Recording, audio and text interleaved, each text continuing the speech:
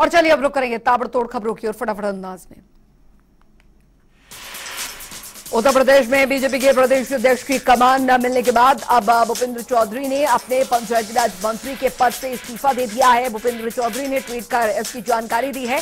Bhupendra Chaudhary BJP प्रदेश अध्यक्ष के तौर पर काम करेंगे, जिसके चलते उन्होंने मंत्री पद छोड़ दिया है और अब पूरी तरह से पार्टी के लिए काम करेंगे।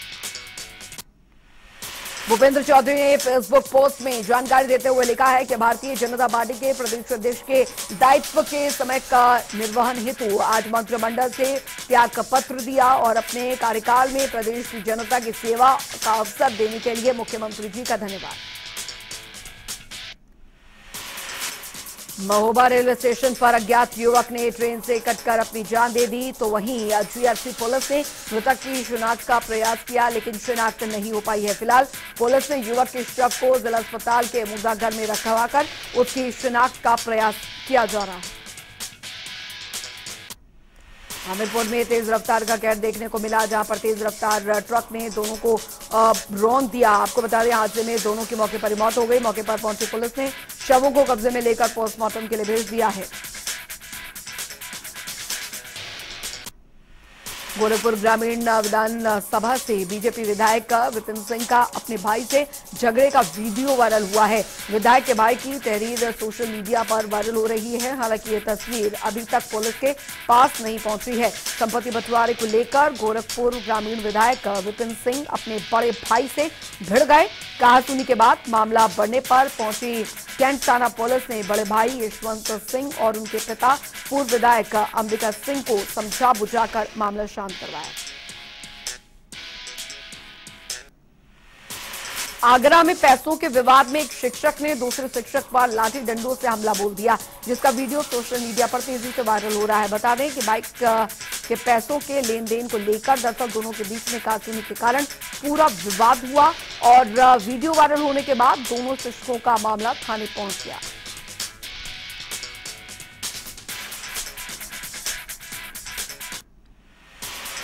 मथुरा में रेलवे स्टेशन से एक बच्चे की चोरी के मामले में पुलिस ने बड़ा खुलासा किया है। मथुरा में बच्चा चोरी करने वाले गिरोह का मास्टरमाइंड। कोई और नहीं, बल्कि एड्रेस के एक सरकारी अस्पताल में तैनात एक डॉक्टर दंपत्ति है। बताया जाता है कि डॉक्टर दंपत्ति की गिरफ्तारी की सूचना मिलने के बाद स्वास्थ्य विभाग के अधिकारियों को अस्पताल को सील करने के आदेश दिए गए थे। देवरिया में गिरोहबंद और साथ ही समाज विरोधी कार्यों में लिप्त गैंगस्टर की बत्तीस लाख की संपत्ति कुर्क की गई। बगौज घाट थाना क्षेत्र के मातोपुर गाँव निवासी फरार अपराधी कयामुद्दीन के निर्माणाधीन मकान को कोर्ट के निर्देश पर अधिकारियों ने कुर्क कर दिया। मकान को सील कर अपने कब्जे में लिया गया है। इस दौरान मौके पर भारी पुलिस बल मौजूद रहा।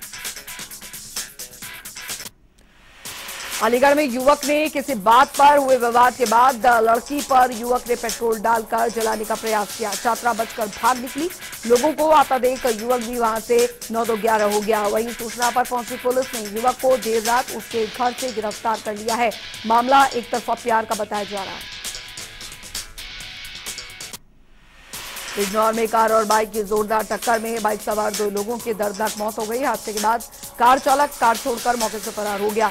दोनों देर रात रिश्तेदारी से बाइक पर सवार होकर घर लौट रहे थे। मौके पर पहुँचे पुलिस ने शवों को कब्जे में लेकर पोस्टमार्टम के लिए भेजा और जाँच में जुट गई है।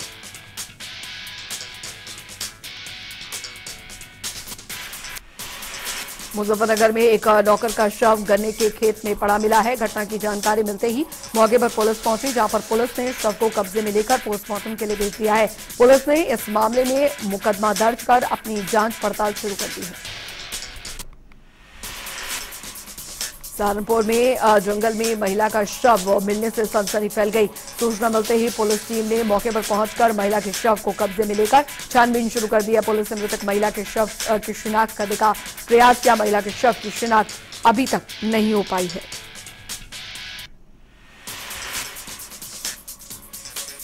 कानपुर में दबंगों ने बीच सड़क पर युवक की जमकर पिटाई की। दुकान में ई रिक्शा से टक्कर लगने पर दबंगों ने युवक की पिटाई की है।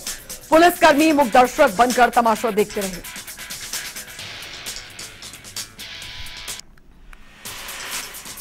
एटा में चोरों का लगातार आतंक जारी है। एटा में मथुरा एसपी क्राइम के आपको बता दें कि स्टेनो के एटा घर पर उनके भाई फौजी के घर अज्ञात चोर। 60 लाख से ज़्यादा के सोने के जेवरात और लगभग एक लाख की नकदी लेकर फरार हो गए।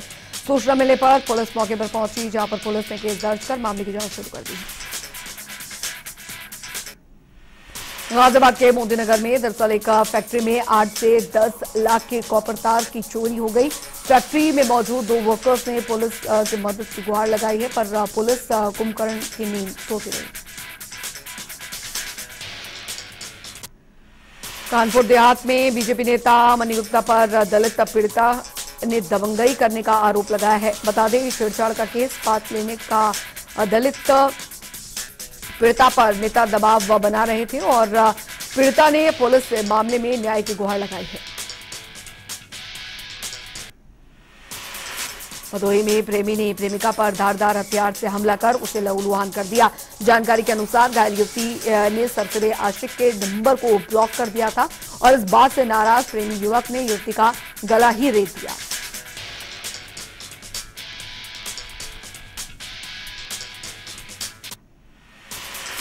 सहारनपुर में पहाड़ी इलाकों में मूसलाधार बारिश के चलते मैदानी इलाकों की नदियाँ उफान पर है। सैलाब को जान जोखिम में डालकर ग्रामीण पार करते हैं।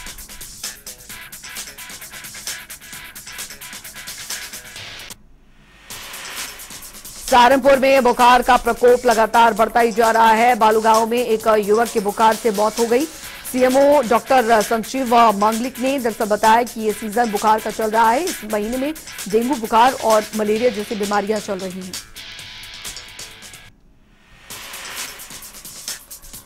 महुआ के ग्रामीण मुडारी निवासी रोशन नामक युवक को उसके परिवार वालों के द्वारा बेहोशी की हालत में इलाज के लिए जिला अस्पताल लाया गया, जहाँ पर डॉक्टर ने परीक्षण करते ही उसे मृत घोषित कर दिया। चिकित्सालय प्रशासन की सूचना पर पहुँचे पुलिस ने द्वारा मृतक के शव का पोस्टमार्टम कराते हुए मामले की तफ्तीश शुरू कर दी है।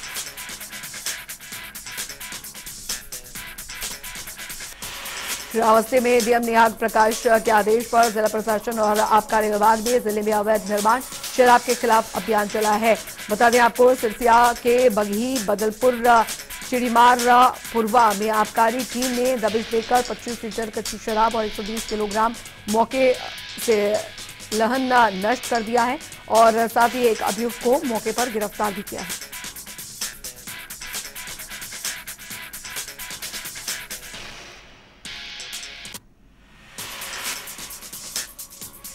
बरेली में युवा वर्ग को नशा मुक्त रखने के लिए सीएम योगी के आदेश पर अवैध बार और हुक्काबारों पर सख्त कार्रवाई शुरू हो गई है।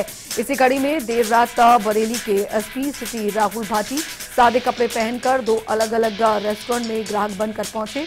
उन्होंने पुलिस फोर्स बुलाकर रेस्टोरेंट बंद करा दिए और बिना लाइसेंस शराब पिलाने वाले रेस्टोरेंट संचालक के खिलाफ एफआईआर दर्ज करा दी।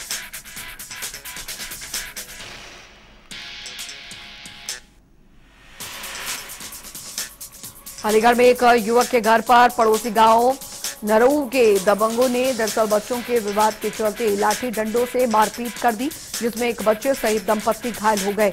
पीड़ित पक्ष ने थाने में तहरीर देकर कार्रवाई की मांग की है, जहाँ पुलिस ने घायलों को इलाज के लिए अस्पताल भेज दिया।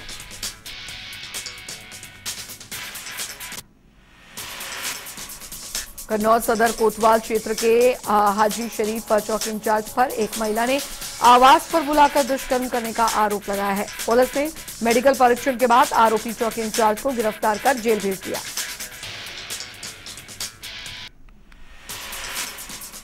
ललितपुर ज़िले में स्वास्थ्य सुविधाओं को बेहतर करने के लिए चलित चिकित्सालय एंबुलेंस दी गई थी और ये एंबुलेंस पूर्व झांसी ललितपुर के सांसद और केंद्रीय मंत्री रही उमा भारती ने स्वास्थ्य विभाग को दी थी।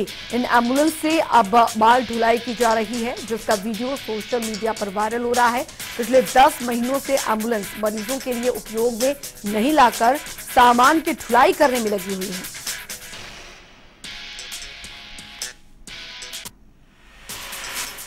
प्रयागराज में बाढ़ से कई गाँव प्रभावित हैं। प्रभावित इलाकों में प्रशासन ने जो नाव की व्यवस्था की है, वे ऊँट के मुँह में जीरा साबित हो रही है। नाव नहीं मिलने से लोग नाराज़ हैं। नाव के लिए लोग अपने दफ्तर जाने के लिए घंटों इंतज़ार कर रहे हैं। अगर फिर से पानी बरतना शुरू हुआ तो फिर व्यापक पैमाने पर आबादी बाढ़ की चपेट में आ जाएगी। प्रयागराज में गंगा और यमुना का जलस्तर अब स्थिर हो गया है। सिंचाई और जल संसाधन विभाग की ओर से जारी आंकड़ों के मुताबिक गंगा और यमुना का जलस्तर अब स्थिर हो गया है। हालाँकि 2013 में आई बाढ़ के अधिकतम बिंदु से महज एक मीटर कम पर गंगा और यमुना बह रही है। वाराणसी में गंगा का जलस्तर लगातार बढ़ने के बाद अब पानी का वेग भी थमने लगा है। पानी कम होने की उम्मीद के बीच अब गंगा का जलस्तर नए इलाकों में बाढ़ की दुश्वारियाँ छोड़ता जा रहा है। माना जा रहा है कि आने वाले कुछ घंटों में पानी और बढ़ा तो फिर नए इलाके बाढ़ की जब में आ जाएँगे।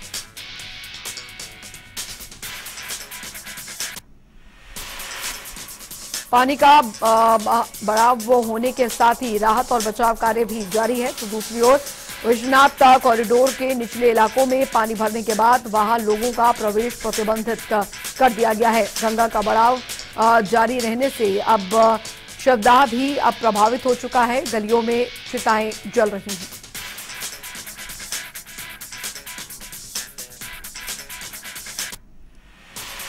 आगरा में chain snatcher SSP Prabhakar Chaudhary के पुलिस को लगातार चुनौती दे रहे हैं। ज़िले में लगातार चेन स्नैचिंग की वारदातें सामने आ रही हैं। चमरौली क्षेत्र में बाइक सवार युवक महिला के गले से चेन तोड़कर फरार हो गए। पूरी घटना पास लगे सीसीटीवी कैमरे में कैद हो गई है। ताजगंज थाना पुलिस ने कार्रवाई में जुटी हुई है। बाराबंकी के लोनी कटरा क्षेत्र के बलाखेड़ा गाँव में बहू पर सास की हत्या का आरोप लगा है। बहू ने संपत्ति के लालच में सास की गला दबाकर हत्या कर दी। पुलिस ने आरोपी महिला को गिरफ़्तार कर जेल भेज दिया। डिप्टी सीएम ब्रजेश पाठक ने यूपी सरकार की खूब वाहवाही की है। उन्होंने बीजेपी सरकार की तारीफ़ करते हुए कहा कि बीजेपी की सरकार दंगा मुक्त है। प्रदेश से अपराध को खत्म किया दंगा, हत्या और बलात्कार समाजवादी पार्टी की सरकार में होती थी, लेकिन जिसने कि अपराध किया, सरकार ने कार्रवाई भी की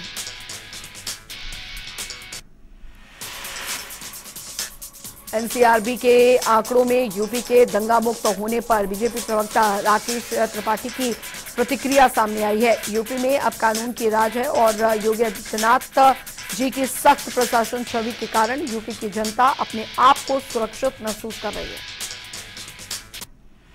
अलीगढ़ के गाँव नगला बसंत में मृगी रोग से परेशान होकर युवक ने जंगल में पेड़ पर फांसी लगाकर आत्महत्या कर ली। जानकारी के मुताबिक मृगी दौरे से मृतक का काफ़ी परेशान था, जिसके चलते दंपति में रोज़ाना विवाद होता था।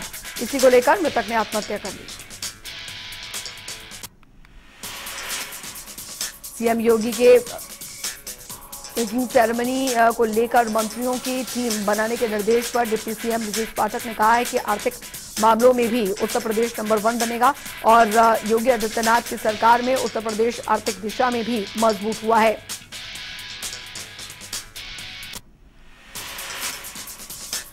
एनसीआरबी ने यूपी सरकार में कानून व्यवस्था को लेकर आंकड़े जारी किए हैं, जिसमें कि यूपी को सीएम योगी के सख्त प्रशासन छवि से यूपी की जनता हुई सुरक्षित पाया गया है और आंकड़ों में यूपी दंगा मुक्त हुआ है।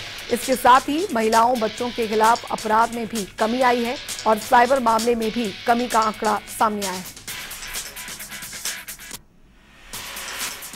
नोएडा के स्कूल में थर्ड क्लास के मासूम बच्चे के साथ सीनियर क्लास के छात्रों के साथ मारपीट का मामला सामने आया है। पीड़ित बच्चों के पेरेंट्स ने इसको लेकर स्कूल प्रशासन पर लापरवाही के आरोप लगाए हैं। उनका कहना यह है कि सीनियर बच्चों ने उनके बच्चों के साथ मारपीट करते हुए जान से मार देने की धमकी भी दी है। वहीं पुलिस भी मौके पर पहुंचकर मामले को शांत करवाएगा। गाजीपुर का एक ऐसा रेलवे स्टेशन है जहाँ पर बरसों से एक्सप्रेस गाड़ियों के ठहराव के लिए जनता मांग उठा रही है।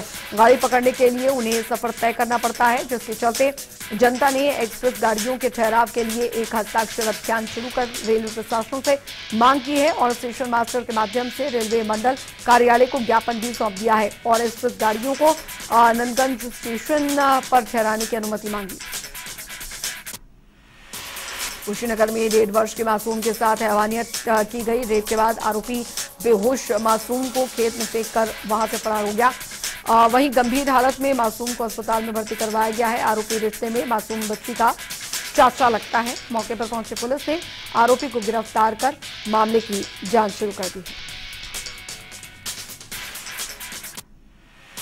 बादा में एक शख्स ने एक दुकान से शराब खरीदी तो उसमें से मक्की निकली और सील्ड बोतल से मक्की निकलने पर ग्राहक हैरान था।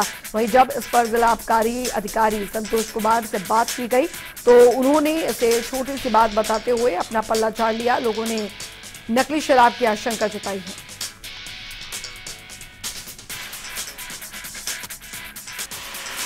रुड़की के सालियर से मंगलौर को जा रहे बाईपास पर पनियाला के समीप एक युवक का शव मिलने से हड़कंप मच गया। मौके पर पहुँचे गंगनहर कोतवाली पुलिस ने शव को बरामद कर लिया है और मृतक की गला रेत कर हत्या की गई है। पुलिस ने शव को कब्जे में लेकर पोस्टमार्टम के लिए भेज दिया है। देहरादून के हरावाला चौकी क्षेत्र में युवती के मृत शरीर को तीन दिनों से फ्रिज में रखने की खबर सामने आई है। युवती के परिजनों ने ही शव को फ्रिज में रखा है और पड़ोसियों ने मारपीट में युवती घायल हो गई थी, जिसकी इलाज के दौरान मौत हो गई। वहीं मारपीट घटना को पुलिस चौकी हरावाला में दर्ज किया गया है। तीन दिन से शव को फ्रिज में रखने का कारण आरोपियों की गिरफ्तारी बताई जा रही है। परिजनों का कहना यह है कि जब तक आरोपी गिरफ़्तार नहीं हो जाते, तब तक मृतक युवती नाली का दाह संस्कार नहीं किया जाएगा। मनाली की मौत के बाद बीम आर्मी ने भी मामले को गंभीर बताया है। उन्होंने कहा है कि दलित परिवार की मनाली की मौत होने के बाद जब तक दोषियों को सजा नहीं हो जाती और मनाली को न्याय नहीं मिल जाता, तब तक बीम आर्मी सबको पर रहेगी पीएम मोदी के जीवन पर लिखी पुस्तक को लेकर हरिद्वार के एसएमजेएन कॉलेज में गोष्ठी का आयोजन किया गया। गोष्ठी में पूर्व केंद्रीय मंत्री और हरिद्वार सांसद रमेश पोखरियाल निशंक, उत्तराखंड बीजेपी के पूर्व प्रदेश अध्यक्ष मदन कौशिक और राज्यसभा सांसद डॉक्टर कल्पना सिंह समेत कई भाजपा विधायक और छात्र छात्राएँ मौजूद रही। पुस्तक के विमोचन कार्यक्रम के दौरान पीएम मोदी के कार्यकाल में चलाई गई योजनाओं के फ़ायदे गिनवाए गए। सांसद रमेश पोखरियाल निशंक ने डिजिटल इंडिया, बेटी बचाओ, बेटी पढ़ाओ, आत्मनिर्भर भारत मेक इन इंडिया समेत कई केंद्रीय योजनाओं को गिनवाया और कहा कि पीएम मोदी ने पूरी दुनिया में भारत का परचम लहराया है। हल्द्वानी में बीते चौबीस बीते 27 अगस्त को लेह लद्दाख में ड्यूटी के दौरान हार्ट अटैक से जीसीओ धर्मेंद्र गंगवार का निधन हो गया था। उनका पार्थिव शरीर लालकुआ स्थित उनके आवास पहुँचा। घर में अंतिम दर्शन के बाद मुक्तधाम में सैन्य सम्मान के साथ उनका अंतिम संस्कार किया गया। इस दौरान हज़ारों की संख्या में लोग धर्मेंद्र गंगवार को अंतिम विदाई देने के लिए पहुँचे। पश्चिमी उत्तर प्रदेश के कैराना के दो मंदिरों में चोरी का मामला मामले में प्रदर्शन किया गया है। बता दें आपको कि मामले में सीओ कैराना विजेंद्र सिंह बड़ाना को हटवाए जाने की मांग को लेकर बीजेपी नेता अनिल चौहान, पालिका अध्यक्ष हाजी अनवर, हसन और साथी व्यापारी बाज़ार बंद कर अनिश्चितकाल के लिए धरने पर बैठे हैं। कैराना कोतवाली क्षेत्र के चौक बाज़ार का ये मामला है। शामली में थाना प्रभारी और दरोगा के बीच का सोनी का वीडियो वायरल हो रहा है। मामले में थाना प्रभारी पर दरोगा ने पिस्टल तानने का आरोप लगाया है। सीसीटीवी फुटेज वायरल होने के बाद से पुलिस महकमे में हल्का मचा हुआ है। वहीं पूरे मामले की जाँच को लेकर एसपी ने सीओ को ज़िम्मेदारी सौंपी है।